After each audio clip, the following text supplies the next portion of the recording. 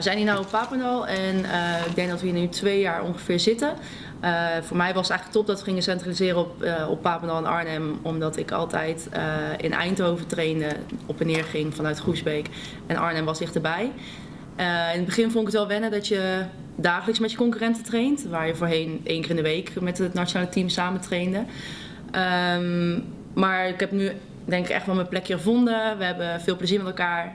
Uh, wordt ook heel hard getraind. Dus uh, we brengen het groepsniveau denk ik ook echt wel omhoog. Omdat je gewoon dagelijks traint met de beste van Nederland. Ik wilde vroeger heel graag voetballer worden. Uh, maar toen bestond het vrouwenvoetbal nog niet. En, dus ik moest iets anders kiezen. Um, en eigenlijk een beetje met uitproberen. sporten die het totaal niet werden. Ik was echt heel slecht in tennis en turnen ook. Uh, ja, een keertje bij judo mee gaan kijken en dat vond ik hartstikke leuk. En toen kwam het vrij snel dat we naar de. Uh, werd ik gevraagd voor de wedstrijdselectie in, uh, in Nijmegen. Um, daar gingen ze een soort meidenteam maken eigenlijk. En nou, dat is eigenlijk mijn geluk geweest, want daardoor had ik nog meer plezier omdat ik met veel meer meiden van mijn eigen leeftijd bezig was.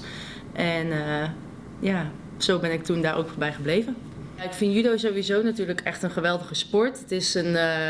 ik vind gewoon het stoeien leuk en het is gewoon. Ik denk dat iedereen zegt die een sport doet, ja, mijn sport is de leukste.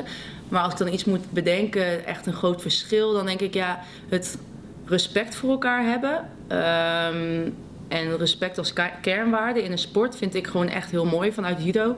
Dat uh, als ik dan bijvoorbeeld naar voetbal kijk bij mijn broers of zo, dat het dan best wel veel gescholden wordt of, of weet ik veel boos wordt op de scheidsrechter. Ja, dat, natuurlijk zijn we ook wel eens boos, maar je blijft toch een beetje respect hebben tegenover elkaar. En dat vind ik wel iets moois uit de sport.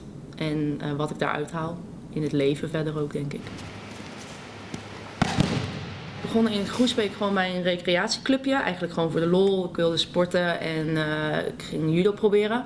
Uh, ik vond de partijtjes wel altijd echt het leukste van wat we deden. En gelukkig kon ik dus ook heel snel naar Nijmegen om wedstrijden te gaan doen. En uh, daarbij merkte ik gewoon dat ik altijd wilde verbeteren. Alles wat misging wilde ik meteen beter kunnen doen. En uh, ik wilde gewoon winnen, winnen, winnen. En uh, uiteindelijk met dat winnen, winnen, winnen en meer willen, ja, sta ik nu hier. En ja, hoop ik ook met alles winnen uiteindelijk de Olympische Spelen te gaan halen.